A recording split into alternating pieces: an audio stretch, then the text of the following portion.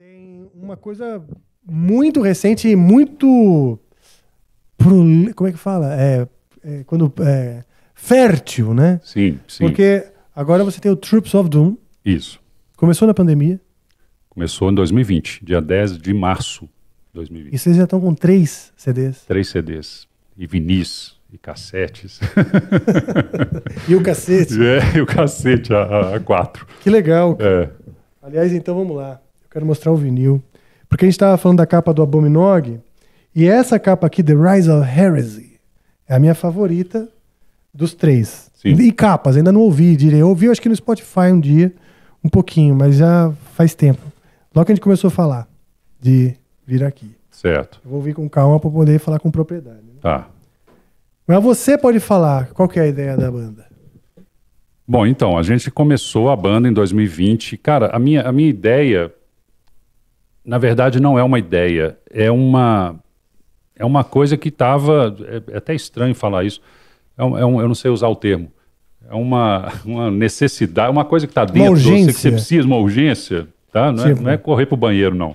É para fazer outro não, tipo de merda. mas eu acho que essas urgências da alma, da alma. Às vezes ela vem que que nem tá no ali banheiro há, mesmo. há anos, assim. Então, assim, eu, eu, eu para eu falar do, de quando eu criei o The Troops of Doom, eu preciso falar de quando eu defini a minha saída do Sepultura. então bora. E foi 35 anos atrás. Então, assim, em 87 para 88, no meio da, da, da, da, da composição e da produção do Esquizofrenia, eu, eu já estava, a gente já estava com mais da metade do disco pronto. É, faltava solos, essas coisas, detalhes e, e voz, algumas coisas. Eu resolvi, eu, eu, eu tive uma série de, de, de, de interpéries, eu tive uma série de probleminhas Tá. que não, que não vem ao caso e, e coisas familiares, inclusive, que eu tive a necessidade de, de sair do Sepultura porque eu vi que eu eu sa- eu estava entendendo o nosso processo, já, eu já estava a gente já estava em contato com uma galera de fora, já tinha uma galera de fora em contato.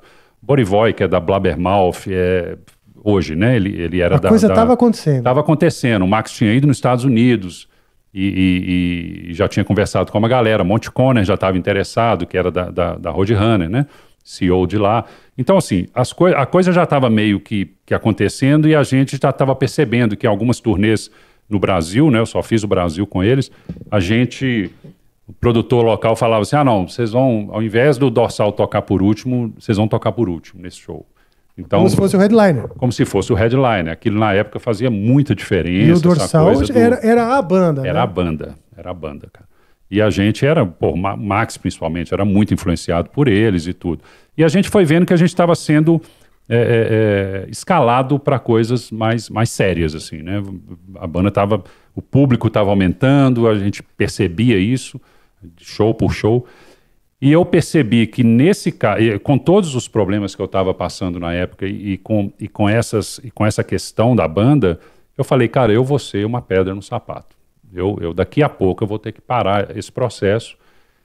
E eu acho melhor parar agora do que parar lá na frente, lançar mais um disco, né? E, e fazer mais uma turnê. E, eu não vou, não vou dar conta disso agora, então eu prefiro sair.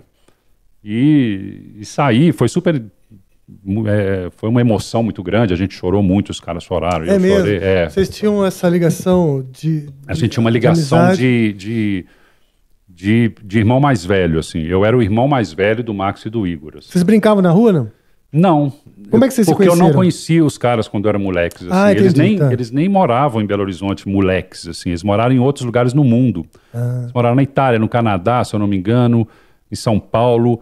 E, e, inclusive nasceram em São Paulo né, e foram para BH. Né? O pai deles era, era trabalhar, trabalhava com a embaixada, se eu não me engano, então era diplomata. Então o pai dele viajava muito. Né? Então, o seu Graziano. E ele morreu muito, muito novo, morreu com 40 e poucos anos, 40 anos.